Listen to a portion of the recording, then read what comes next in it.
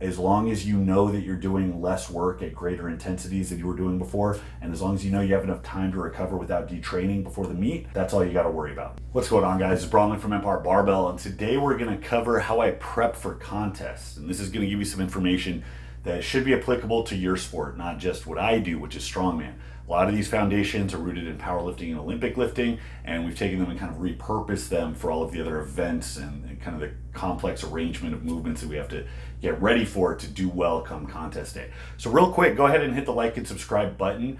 Uh, we're gaining followers like crazy, and the more subscribers I get, the more time I can spend turning out content because this is just what I want to do all the time. So we're putting out three to four videos a week. You don't have to play catch up. So go ahead and uh, hit the notification bell and get it when it comes out. So it's Tuesday morning. We leave Wednesday to go to beautiful Montgomery, Alabama. Me and my beautiful wife Laura are both in the middle of a weight cut right now. So we're just finishing our water loading. Uh, once we land tomorrow, we go to the hotel. We brought our portable sauna. We got plastics. Uh, we're gonna get creative with ways to sweat. We're gonna spend all day Wednesday sweating. Weigh in Thursday. We got a day to refeed, and then we compete Friday and Saturday. So we had five events. Uh, we have two static events: uh, deadlift and log clean and press. The deadlift is for max, which is very rare uh, max deadlift. Uh, actually, I've never heard of a max deadlift being at a nationals or a strongman corp show, just because they take a lot longer to run and there's so many athletes. Uh, the log is a clean and press each rep, which means it has to be taken out of the ground every time. Uh, it's 290 for me. It's 140 for Laura. Um, then there's a 700 pound yoke run, uh, 60 feet down, 60 feet back. So that's going to be a foot race. We have a uh, bag toss. Uh, 15 feet for me, 12 feet for Laura. Mine's 35 to 50 pound bags, four of them. Laura's is 20 to 35. Uh, and then we have a Husafell stone run for max distance, which is absolutely horrible. That's the last event on day one. And uh, 375 pound Husafell stone, hers is 220, and you just take it till you die. So you can see that we have a lot of different types of thresholds we have to flesh out, and that's what makes strongman programming so fun slash infuriating because you have conflicting things. Uh, where powerlifting is pretty one dimensional, you don't need your fitness high. In fact, dropping fitness is part of the peak. Uh, we have to maintain a certain level of fitness in uh, often conflicting areas. So you have to get a little creative with how you handle fatigue as you get closer to the meet. So to start this off, you have to understand that the whole idea behind a peak is that it's the assumption that there is a certain amount of fatigue built up. Not just fatigue because you're tired because you just did a set, but kind of a general fatigue from the amount of work that encompasses a week. If you've ever worked, uh, let's say, a manual labor job, you know how you feel your fourth and fifth day in before the weekend, all that fatigue accumulates, right? It's not just the work you just did. It's the same idea with training. The weekly work compounds and it bleeds into each week, especially if you're making the stressors greater and greater and greater. So the idea is that if you're working hard enough to grow, if the stress is great enough to cause an adaptation, it's also great enough to limit your ability to express how good you really are. So by lowering fatigue as we get closer to a meet, we allow for a type of recovery and it's it should be the only part in your training cycle where you are actually 100% fatigued in such a way that you can actually express 100% of your physical abilities. So the idea is that fatigue masks your physical capabilities. So we drop fatigue, we lower the amount of work, we lower the stress, and then your performance climbs as you recover. Now this is mind-numbing for a lot of newer lifters who get anxious the closer they get to the meet. So rule number one is first do no harm. That's it. When I start with the contest week, I'm making sure that I'm not gonna screw myself up. And the way people screw themselves up is by getting uh, anxious and fidgety and they want to go in and just try it one more time before the contest just to make sure. And that's what leads people to take like their openers two days before the meet. That's what leads people like right now I'm going crazy over the bag toss because it's my worst event. And I just want to go throw bags to make sure that I know my setup and I'm, I'm good with it. But you can't do that. I'm two days out from competing. I have to rest, I have to recover. So that's thing one. Now, if your training was hard enough going into those weeks, those last couple weeks of recovery should bring with it a nice big peak in all of these lists. So the important thing is knowing how to time it. So these different qualities all have a different time threshold associated with them because they detrain at a different rate. So I might recover, recover, recover, get stronger, but if I continue recovering, that leads to detraining, which is not what we want. So strength, just pure absolute strength, hangs around for about three weeks. So that's an important thing to know. So the Russians figured out that if you do absolutely nothing, three weeks in, you're still about as strong as you were when you stopped. Now, you will be out of shape. You won't be conditioned. And that's an important thing to know too, because conditioning leaves you a lot faster, but you also gain it a lot faster.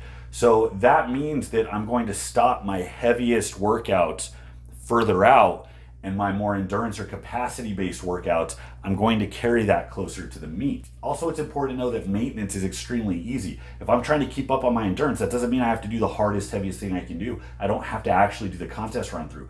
But let's say a log clean and press for reps, if my weight is 290 for a minute and I'm trying to fit in eight or nine reps in that time, to keep my capacity up, I just have to maintain my strength and maintain my endurance in that threshold, which means if I do anything for that duration, if I, I could do 200 for a minute and fill out the minute with work, and that's still going to have some carryover, that's still going to maintain my endurance capabilities, which is important for recovery because I get to get the benefit of maintaining without actually having to go as hard as I can. So these last couple weeks where I'm really focused on recovery, that's really important to know. So this isn't the whole progression and I'm not getting into uh, to details about sets, reps and all that because they're all so different and in strongman they're going to be different based on minor differences from event to event. I'm going to program a heavy 50 foot yoke walk a lot differently than I'm going to program a medley or that I'm going to program, let's say, a race for longer distance. So they're all different. So conceptually, you just need to understand the percentages that pretty much corresponds to relative to the contest weight. So I break everything off into static lifts and events. Uh, the static lifts, uh, deadlift and overhead press is pretty universal. Occasionally you'll see a squat, but that's kind of rare. And these are a fixture anyways because they're main developmental movements because I want to get those good regardless of what I have coming up in the contest. Now, if there isn't a deadlift, I'm probably not going to deadlift at all, you know, three or four weeks out from the meet just so I can focus on event stuff. But there almost always is, so it always stays in. I do it on a different day. One of the reasons I like doing deads on Tuesday or Wednesday is because I like about 10 to 12 days of no deadlifting. So if we compete on Friday or Saturday, if my last deadlift is the Wednesday or Tuesday before, that coincides really well with my preferred amount of recovery. So that's one thing that I keep in. A lot of guys will do their deadlifts on event day. I hate that. I don't really stress out about event order or doing all the events in one day. If you're getting a total weekly amount of training and you're adapting to those movements uh, and you're doing multiple run throughs, the contest day is still going to be easy for you. And if there is one event, let's say there's a death medley, you know, right before the deadlift, there's not a lot you can do save just getting in good general shape to, to really mitigate that fatigue. So training is gonna be the same anyway. So I don't really stress out about doing events in the exact same order on the exact same day. Um, this is a two day event we're getting ready for. So you have a lot of people that are doing the three events on one training day and the two events on the other. And I think that's unnecessarily complicated, but that's just me. So with the events, I have to consider which ones are heavy and which ones are endurance based. Those tend to be the two to different types of thresholds that you're going to be working. Heavy just means power. It means I'm not going to be up against my endurance. I'm not going to reach failure on anything. It means I'm just trying to go as fast as I can or as heavy as I can. So for us, I count the yoke. It's a 700 pound yoke down and back. Now that might sound heavy, but the winner is going to get 19 or 20 seconds. Uh, and I'm fighting for those couple of seconds right there. So that's a power event. I'm not up against a long threshold. I'm not getting close to failure there. Uh, the bag toss is another one. Even though the bags aren't you know heavy, it's a power event. So that's what I consider heavy. Uh, endurance is going to be like the Husafell stone and the log press because those I'm trying to go as hard as I can for a set period of time. The log I have to clean and press for a minute straight. The Husafell I go until I drop. So that's a different threshold, and I need to make sure I keep those qualities fresh closer to the meet. Consequently, they also tend to not beat you down systemically to the to the same degree that that heavier power based events do. Um, I could do a pretty hard Husafell run a couple times a week and be okay. You're pretty blown out afterwards, but it doesn't tend to carry over to the next workout. Whereas, you know, you all know deadlifts really take it out of you. Even when you feel good, they'll impact recovery on other events. So that's important to know.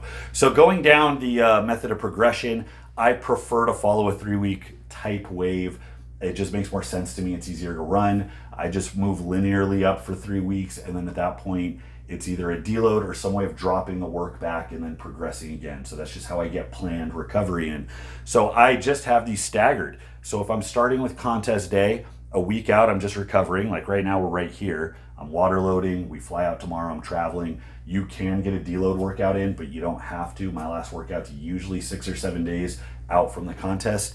Um, I make sure that my last event day before the contest, about a week out, has the capacity work in. So that's where I was focusing on 100% with the contest weight for the Husafell Stone and the log press. And I do a reduced workout on the heavy event. Now, what we've experimented with, a lot of newbies can get away with doing a full heavy contest run seven days out. Some of our better competitors got really good results when they do it two weeks out and then do a, a reduced run through a week before and that tends to play into the taper very well. So that's how I structure it. So I stagger the endurance events down closer to the meet. Heavier events, we finish our heavy events a little further out and then focus on recovery. Um, for a max deadlift, I treat that differently than a deadlift for reps. I'd like a heavy deadlift, a hard deadlift, about 10 to 12 days out. If it's reps, I'll do the contest weight for reps 12 days out and then recover. If it's max, I get a little more dodgy just because I have a bad experience with max deadlifts. That's where all my injuries came, uh, came from. So even now that I feel good with it, I still always say a prayer before I pull heavy. So I prefer a variation, something where I know I'm not going to risk injury, but I'm still going to subject myself to weight. So I like reverse band. So, so last week I did a uh, reverse band deadlift with 675. Um, it's much easier to recover from, but I still get that weight at the top, so your nervous system still gets uh, really dialed in. The week before, I did a 700, or sorry, a 705 deadlift, a straight weight to contest specifications. And then before that, it was just a linear buildup. I did 685 before that, 665 before that. Uh, so that's kind of how I wave. Now, log is is a similar buildup for me. Um, I was doing it on two different days. I cut it out towards the end because uh, I have tendonitis issues in my shoulder. So I don't have to do a lot. My overhead's always really good. I don't have to force the issue. So when I'm not feeling good, I always err on the side of recovery. So I just take away the excess work, the heavy work, and I just focus on the contest threshold and I'm good. I'm probably going to win this event. Uh, it's just a really strong one for me. And uh, I know that I can take those liberties uh, instead of just pushing, pushing, pushing, getting injured. It's nice knowing I can take my foot off the gas, recover, and then I'm still going to be okay. So the last couple weeks, I just focused uh, on it as an endurance component and just focus on taking something close to the contest weight, filling out a minute, make sure my timing was good. There's a lot of precision. There's a cadence you have to follow to be able to get as many reps into a minute as possible. Uh, the weight is 290. The last few years, they've had 280 to 300 as a staple at these types of events. Uh, the winner usually gets six. Uh, I can only think one time somebody got seven at a 280 log. I knocked out six in about 30 seconds, so I feel pretty good about this one. So then there's the accessories. Uh, the accessories I follow a little more linearly. They don't necessarily have to move in lockstep. I mean, in general, if you have a recovery week with the deadlift, you're not going to blow yourself out on accessories. So they should coincide a little bit. But I really just start lightweight, a lot of sets and reps. So light, high volume, and I go to medium, medium, and then I go to heavy, low volume. And then the week before I cut it out. So this last week before the contest week is literally just deadlift and event training, and that's it. And if you can adhere to this principle, if you can start with more work at the top, progress down, hit your numbers in a predictable fashion, and then once fatigue starts to build and you handle your heaviest weights, cut the workout. Intensity high, effort high, the amount of work you're doing is low. That's that's the basic idea of a taper. And if you can actually recover without getting in your own way, you're going to find that come contest day, you are going to feel fast, you are going to feel conditioned, you're going to feel strong, and that's what we're doing here. So this is how I put together my events. I always start with the event day and then I reverse engineer how my progression is going to go after that. Everything I do above this like 4 or 5 week block is more base building. So it's more variations. Uh, I'm doing a lot more sets and reps. Uh, I typically start at a lighter percentage. I like to take my time before I start to get heavy just because I can run pretty much at any given time of the year with a 700 pound yoke. Doesn't mean that I start 10 weeks out with a 700 pound yoke because that just beats up my knees and my lower back. So instead, I like to do variations. We were doing high step yoke walks uh, where we chop our feet, get our knees really high, focus on keeping the yoke from moving side to side. So that's an example. You can use lighter weight, but it's still somewhat difficult to find your movement patterns. Uh, for log, I was actually doing jerks early on. Shoulder was a little raw, so I decided that a jerk took stress off that first part of the push that really aggravates my shoulder, and I still got underweight. So I was able to work that for a couple weeks, refine my jerk, and then once it felt better, I added in more press volume. I picked selections that kind of round out my press but don't aggravate issues. And then by the time I'm down here, it's really just log pressing and that's it. So that's periodization in a nutshell. It's almost always going to be, well, linear periodization, high volume, a lot of variations, relatively lightweight, moving into more specificity over time, dropping the amount of work you're doing ultimately before recovering, and then going into the meet. It is that simple. Don't think that there is some special magic checkbox you have to hit as long as you know that you're doing less work at greater intensities than you were doing before, and as long as you know you have enough time to recover without detraining before the meet, that's all you got to worry about. It's a little specific to everybody. Everybody's on a different uh, recovery path, and that's perfectly okay. That's why it doesn't even matter if you work with a coach. There's still no substitute for trial and error. So you got to know what your path of progression looks like, what your time frame looks like, and then work around that. So that's all I got today, guys. I'll keep you updated with how we do. Uh, going out, like I said, my wife Laura. We're going out with Andrew Mock and Eric King. We're both nasty middleweights. Uh, we have 80 people in our uh, division. I think 78 last I looked. I believe there's 76 heavyweights. So all in all, between all the women's and men's divisions, we're looking at over 300 people. It's going to be nuts. So uh, I'll keep everybody posted with the contest results. Uh, now I just got to get through this weight cut. So that's all I got for today, guys. Until next time, this is Bromley Empire Barbell. I'll see you.